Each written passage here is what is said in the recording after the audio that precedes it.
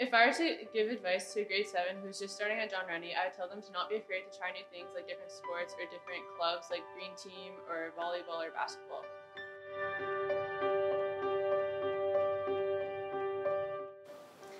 I wish that I had known coming into high school that it doesn't have to be as stressful as it may seem. You don't have to be as perfect as everyone expects you to be. You can make mistakes, and this is the time to make mistakes and learn from it.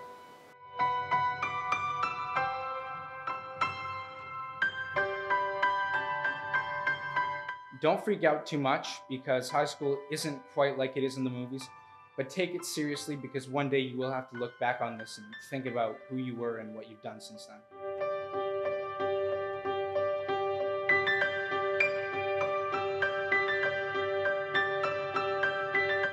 to my grade seven self, I'd probably say um, maybe take your studies more seriously.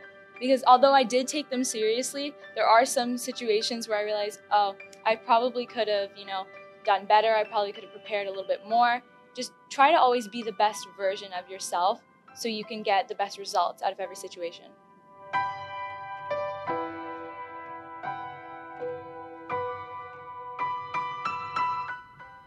If I could describe John Rennie in one word, it would be inclusive. High school isn't really that scary. When I was in grade seven, I was always stressing about, oh my goodness, I have to put my stuff back in my locker, take it back out, unlock my locker, lock my locker. But I'm telling you, five minutes is a lot. You can get a lot done in five minutes. You can go to the bathroom.